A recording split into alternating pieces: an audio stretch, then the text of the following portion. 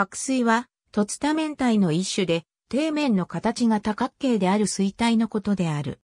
四角錐三角錐の形に積み上げられた35個の球空間内の平面多角形 B 及びその平面上にない一点 A が与えられているとき、点 A から多角形 B の周及びその内部の各点とを結ぶ線分の軌跡として得られる立体図形を角錐あるいは角錐体と呼ぶ。角錐の表多面は角錐面あるいは角錐の側面と呼ばれ、点 A から多角形 B の周上の点とを結ぶ線分の軌跡である。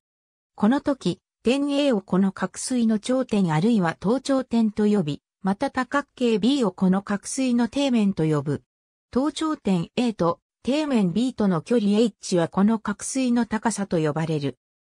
底面 B が N 角形であるような角錐を N 角錐と呼ぶ。特に頭頂点から底面へ下した水線の足が底面の重心に重なる自家水体で底面が正 N 角形をなすものは正 N 角錐と呼ばれる。ありがとうございます。